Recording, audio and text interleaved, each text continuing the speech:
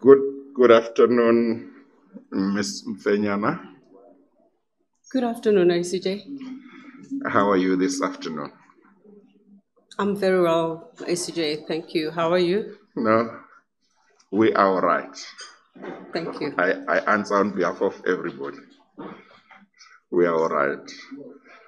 Uh, welcome to this session of the interviews of the Commission. Thank you for availing yourself to be considered for appointment as judge of the Eastern Cape Division of the High Court. I see that uh, you hold the degrees uh, B. Juris, L, LLB, and LLM. And then, in addition to that, you have uh, a certificate of legal aspects of e commerce, certificate of energy law, in energy law, certificate in air, space, and telecommunications law. Is that correct? That is correct, ACJ. And uh, you got the B. Juris from the University of Durban, Westville, uh, which is now UKZN. Indeed. Is that right? Yes, yes. And then you've got your LLB from the University of Pretoria. No, ACJ, the B. Juris and the LLB are both from the University of Durban, Westville. Oh, okay. And then it was the LLM that you got from the University of Pretoria. That's correct, ACJ. And then the certificates you got from one of them you got from UNISA and the other one from the University of Witwatersrand. Is that right? That is correct, uh, ACJ. Yes.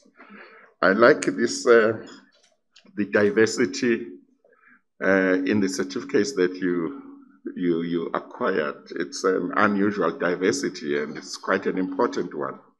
Uh, when you chose to do those certificates, did you have a particular objective in mind? How did it come about? A certificate in energy law, a certificate in telecommunications law, a certificate in air or certificate in air, space and telecommunications law, and a certificate in energy law, certificate in legal aspects of e-commerce. How, how did you decide upon those certificates? That that's what you wanted to do, that diversity of programs. Well, the reason for each of them was is different, but the commonality is my curiosity. If I am dealing with a matter um, that involves energy law, naturally, what I what I want to do is to get more in-depth information on that aspect, and I find myself, you know, studying um, uh, on that aspect. Mm. And um, I think the other reason is to uh, support my clients. You get a, a, an instruction in energy law um, or aviation law, for example, and you're very limited because as a, as a lawyer, you cannot confine yourself to, to a specific thing. I mean, litigation is in pretty much everything. And um, you, you, you, you prejudice not only your client but yourself as well because you you limited in the offering that you can give to to your client so that was uh, uh, those were the reasons uh, pretty much Mm, mm. and uh, you were admitted as an attorney in 1998, is that right? that's that, that is correct uh, acj Yes, and you worked uh, in the Human Rights Commission as a legal officer, and later you worked uh, as a research fellow at uh, CSVR. What is CSVR? It's the center for study of violence and reconciliation Yes, okay. And uh, uh, do you practice as an attorney at the moment? indeed i am uh, practicing as an attorney acj Yes. So, how, how long have you practiced as an attorney? i have practiced for about 14 years Yes. um, on my own it has been uh, 12 years Yes. um, since I started, but that that that, that excludes um, my other work apart from practicing as an attorney. So practice, it's been 14 years. Yes. And I see that you appear in various, you say you appear in various courts with regard to a variety of civil litigation matters. Yes, ACJ, when you are uh, the magic in your in your in your office, when you're a sole proprietor, you appear in each and every court do where everything. is a matter, yes, to be attended to. Yes. Uh, I see that uh, you mentioned magi- magistrates' courts that you appear in. You mention uh, in and around Pretoria, Randburg, Johannesburg, Roodepoort, Boksburg, Kempton Park. And you say you appear also in the High Courts in Pretoria and Johannesburg, as well as in the Labour Court in Johannesburg. Is that right? Yes, I have. You have. Yes, ACJ. Yes. And you say sometimes you appear alone in those courts and do matters without counsel. Sometimes you brief counsel. Indeed. Is that right? Yes, ACJ. Uh, so that means that, uh, does that mean that you have actually argued cases, some cases on your own in the High Court, in the High Courts and in the Labour Court, quite apart from Magistrates Court? particularly in the High Court, um, the Labour Court not so much because um, my practice is not predominantly a, a, a Labour practice. Yes. So uh, it would be one or two in, in, in, in the Labour Court, but in the in the High Court it would be more than that. Even though um, I haven't appeared in the High Court enough Yes. um, uh, with the practice to attend to as well. Mm. Um, but I have appeared in the High Court with or without counsel. Well, uh, I, I, I very much like the idea that you you appear in the High Court as an attorney on your own sometimes, and uh, you do matters uh, yourself. You argue them before judges. You argue them. It would uh, follow against advocates, and uh, you you're not intimidated by anybody. Is that right? Not necessarily, ACJ. I mean, what, what is more intimidating is the matter itself. Yes. Otherwise, you, you, you, when you deal with people, you deal with people.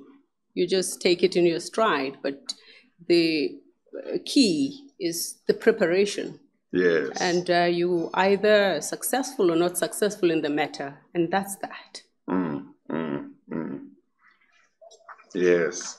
And uh, have you also argued appeals, whether criminal or civil, in the High Court?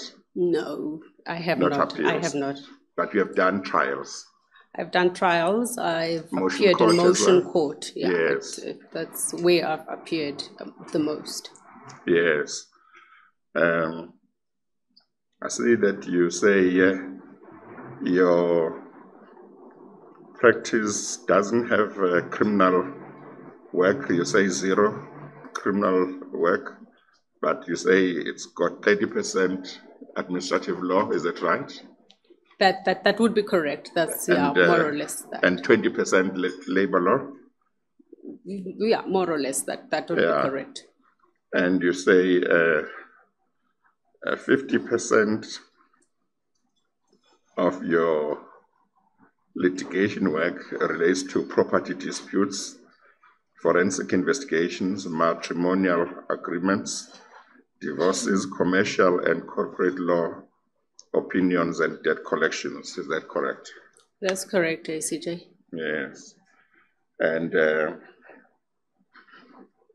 you set out in paragraph 6.3 some of the cases that you regard as quite important that we have done.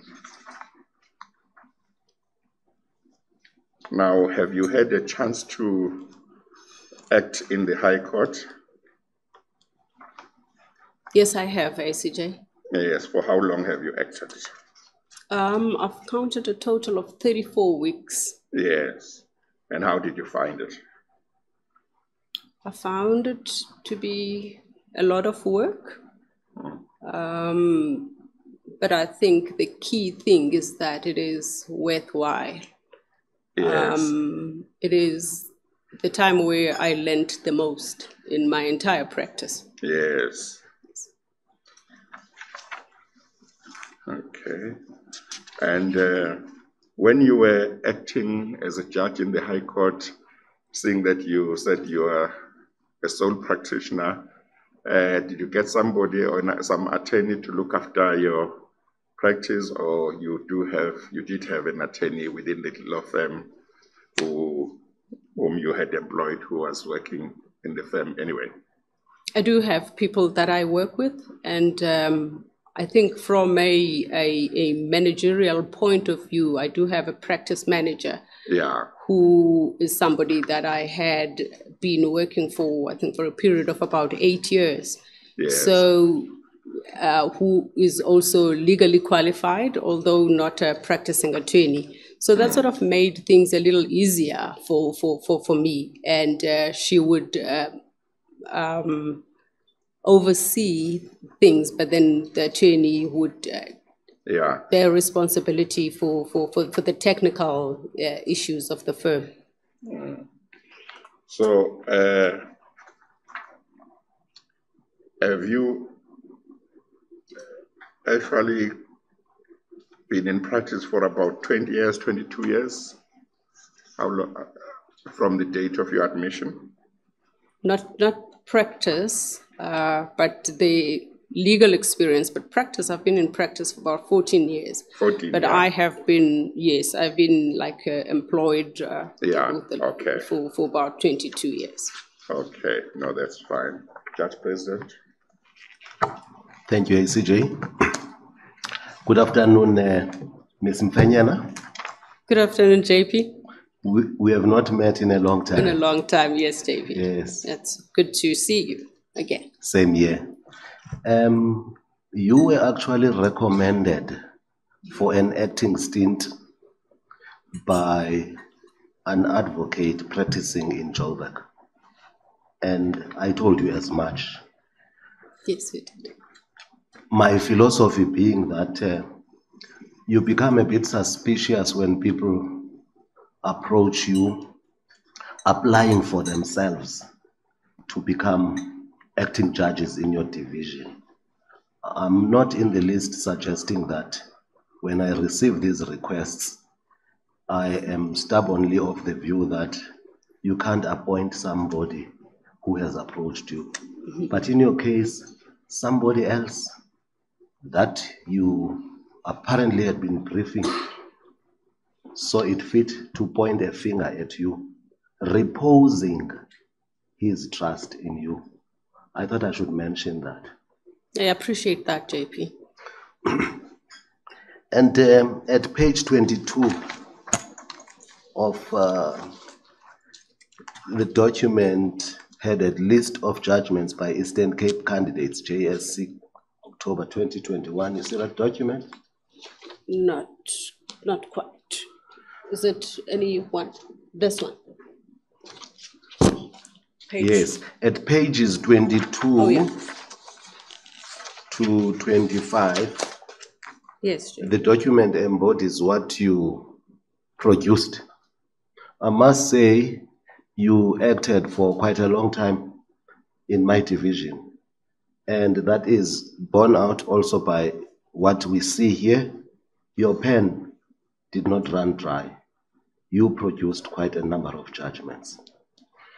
I remember that we sat together in Center for Child Law um, versus Minister of Basic Education, um, a judgment that has subsequently been reported. Are you aware of that?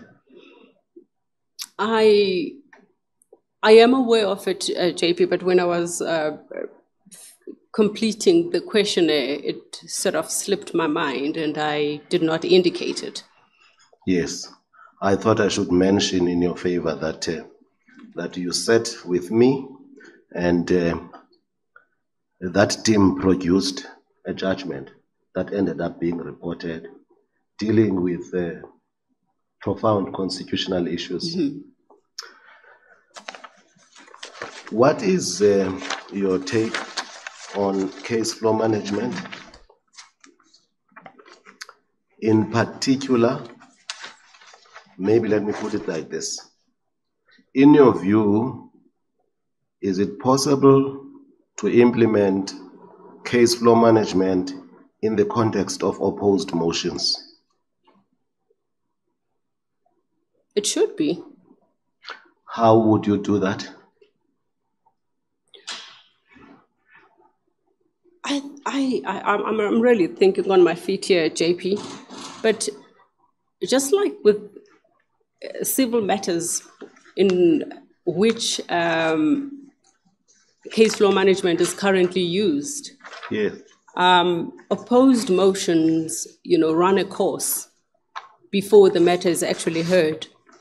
And it is not all the time that a, a, a, a, a matter, an opposed matter, would run from end to finish without any, any, any hurdles. And uh, the tool of case flow management is, is instrumental in, in, in, that respect.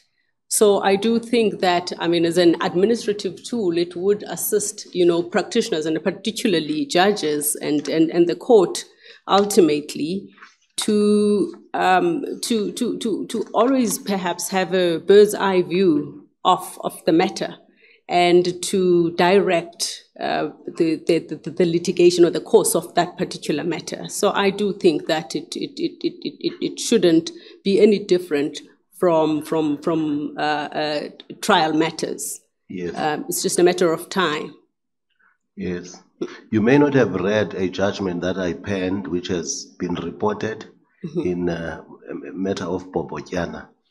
You probably have not read that as yet. I, I, I It haven't read it. I with- saw, yeah, I saw that, that matter, yes. Uh, uh, probably browsed through it, but I, I, I didn't read it. Yes. It drives the point home that case flow management is applicable in motion proceedings. And Should it be. demonstrates that uh, as soon as we implemented that in Grahamstown, there was an improvement on the finalization rate of opposed motions. I just thought I should mention that. You may not have read the No, I, judgment. I I have not. Thank you.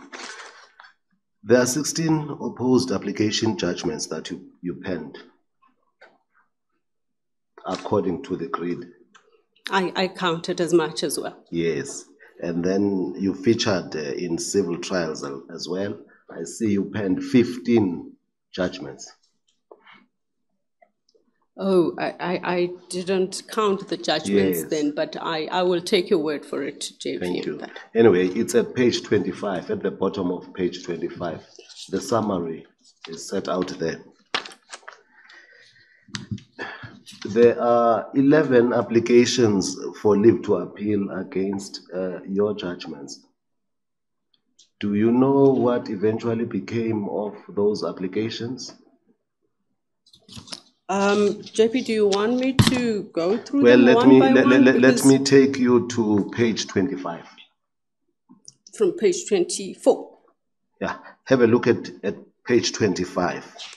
You will see there's a summary of your output. Page twenty-five, Yes, JP. yes. You see it lists judgments that you penned. Uh-huh. In fact, it's a summary of what is contained in Yes. the grid itself. Yes. And then uh, it mentions that there are 11 applications for leave to appeal against uh, y- your judgments. I take it that 11 of the judgments that you penned. So my question is, have you got an idea of what became of those applications?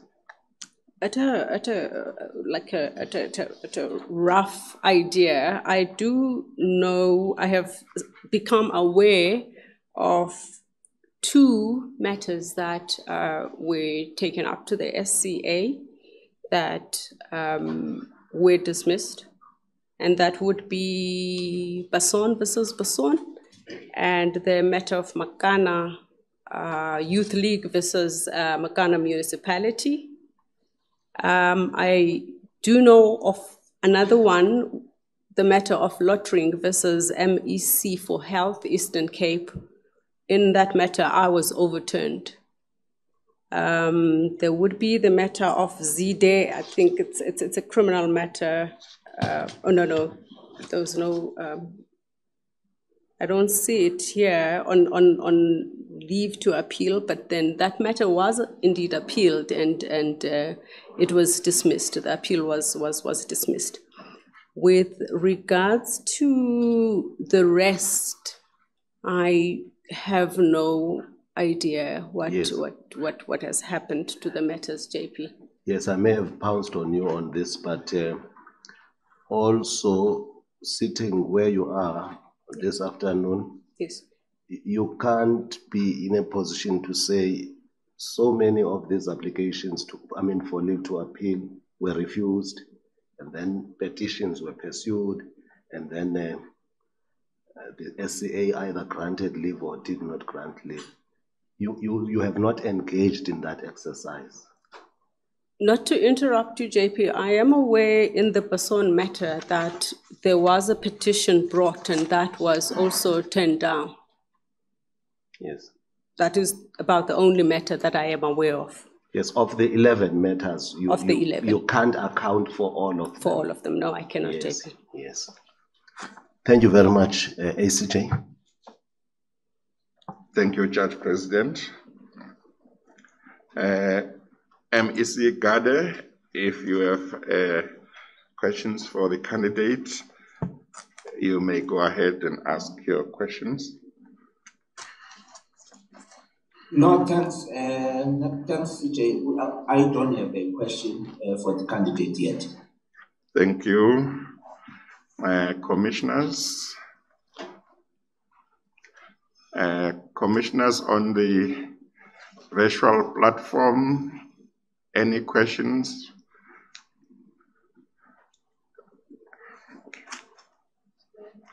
Uh, No questions from the commissioners on the on the virtual platform. Let me start with uh, Commissioner Nyambi.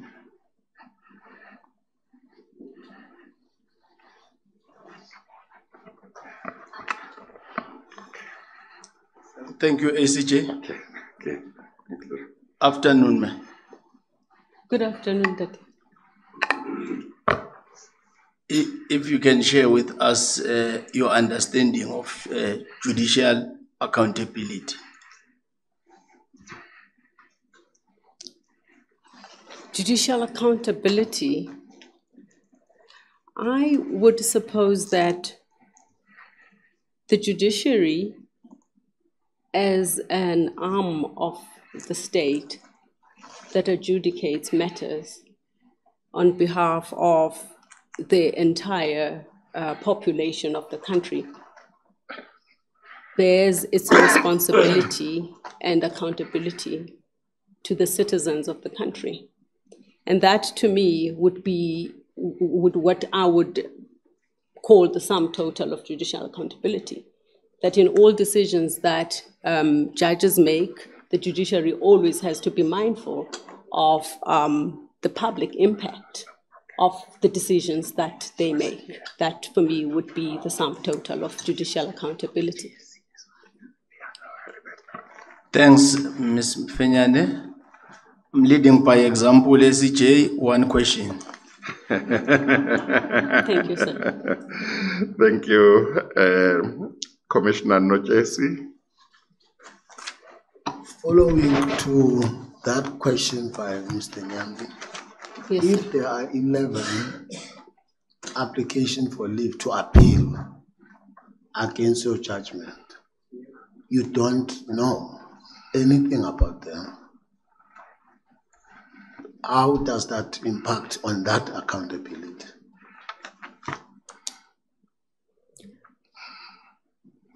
The information pertaining to when matters went to on appeal, that is to a higher court, is an administrative function that is performed outside of the judicial function itself. So that I would um, attribute to the flow of information, either from the registrars to the judges uh, or the system that is being used and not to judicial accountability itself.